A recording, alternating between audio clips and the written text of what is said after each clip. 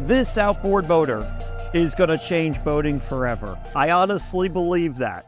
I'm not going to make you wait and bait you for half the video to reveal what the motor is. I'm going to tell you right now. It's the Newport NT300 3 horsepower equivalent electric outboard motor. I know some of you right now are going, oh, please, no, no, no, stop.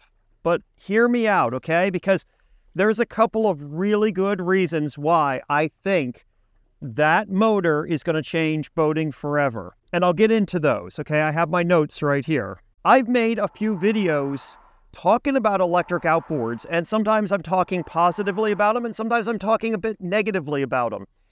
And the folks at Newport reached out to me and said, Would you like one of these? They gave me this for free with the battery and everything else that I need. They just gave it to me. Yes, there's going to be a disclaimer up here in the top if you haven't already seen it. Something about this video includes paid product endorsement, whatever.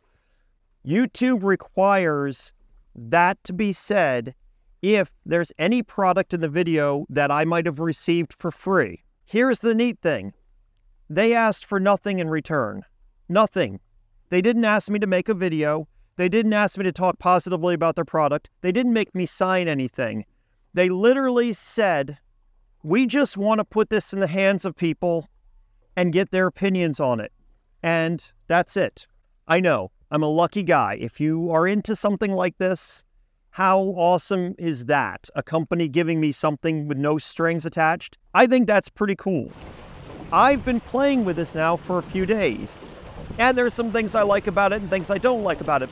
But for right now, I just wanted to talk about why I think this particular motor is going to change boating forever. It's like a more powerful trolling motor. And what I mean by that is a trolling motor, which we're all very familiar with, is the motor and the battery. And we can choose whatever batteries we want to put on our boat for our trolling motor. We can pick the brand, the size, the capacity, how we connect them, all of those factors are things that are up to us. And the trolling motor is just a trolling motor. That's a concept we're comfortable with. It's the motor that we've been asking for for years. I've seen comments every time when people make videos about upgrading trolling motors and how much electric outboards cost and all those kinds of things saying, why can't we just step up the trolling motor technology a little bit and make a slightly better trolling motor? That's what this is. This is the first electric outboard in its class that is set up like that because Newport also makes and sells trolling motors. If you already have a trolling motor system on your boat that's 36 volts, you can just plug this into that. And that's what I think is a really cool thing here because that makes this future scalable very easily future scalable. Your Torqeedo, ePropulsion, and Mercury Avator electric outboards, they all use a proprietary battery. The Mercury Avator has one that looks like we use with our electric drills that plugs in from the top. The ePropulsion one is molded into the top of the motor. That's and you plug that in and that sort of finishes off the design. Torqeedo works the same way. This is the only one that uses a block battery that you can place anywhere in your boat. And this one is cheaper with a battery than the competition, and it's a bigger battery. Let's talk about the competition. The oldest and first competitor is Torqeedo. They make a 3 horsepower outboard called the Travel 1103C. That one sells online for $2,948. So, you know, almost $3,000. It weighs 17.3 kilograms, which is 38 pounds, and it comes with a 915 watt hour battery. Now, I'm going to talk about watt hour batteries here, and I do not have any data whether or not all of these different outboards use electricity in the same way. So I don't know whether they all consume it in the same way.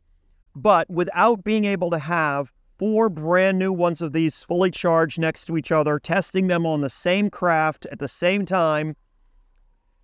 There's not a lot of other data we can really go on in terms of range, I guess, really, or battery life, because That's one of the things that we all talk about range anxiety, battery life. What do we do when the batteries go dead? And I get that. But let's talk about these comparing it to the other similar products. The next competitor is the e-Propulsion Spirit Plus.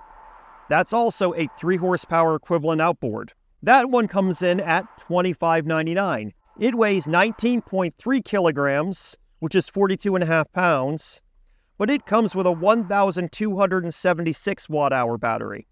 So the e-Propulsion Spirit Plus is less, weighs a little bit more, just a little bit, and has a much larger battery, which I have always thought made it a better product than the Torqeedo.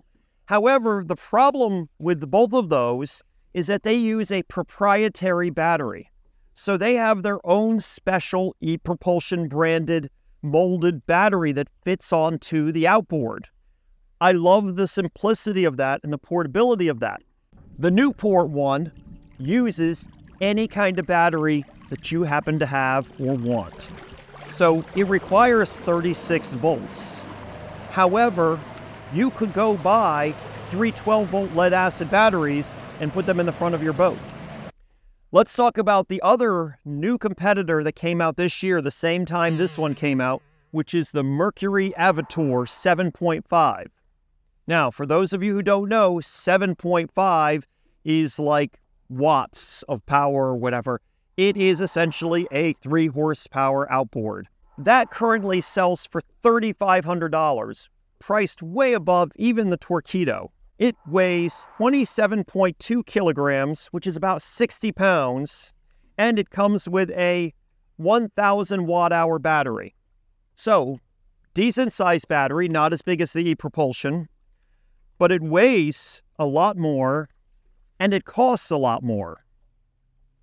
Now let's talk mm. about our Newport NT300, and this is why I think it's so special. So, once again, 3 horsepower equivalents. So these are all apples to apples comparisons. The motor is $11.99. You can buy the battery separately, and they gave me the biggest battery that they carry, which is a 40 amp hour battery. The big battery is $1,149, so the total price is $2,348. So with the largest battery, it's still cheaper than the other three competitors. Now, it comes in at 23.9 kilograms, which is 52.7 pounds. It almost weighs as much as the Mercury Avator, but it has the biggest battery. The battery that I got is 1,440 watt hours, almost 200 watt hours more than the e-Propulsion. So its closest competitor is the e-Propulsion. However, that's $2,600 and this is 2,348. But the thing about the Newport one is that with the battery being completely external and separate, you have many more options. I can buy other kinds of batteries, other brands, other manufacturers, other battery types. And it makes it much more future compatible because all I got to do is screw these terminals onto a new battery. So if somebody comes out with this amazing 36 volt pocket sized battery, I just drop that in my boat, keep running that motor. Some of these other ones can run off another external battery, but they're designed with their proprietary battery. Anyway, let me know your thoughts about this. Do you think this thing is everything I say it is? Do you think this stuff's a terrible idea? Let me know in the comments below. And thanks so much for watching. Here's another video YouTube's recommending for you. This one right here. Check it out. It's another one of mine.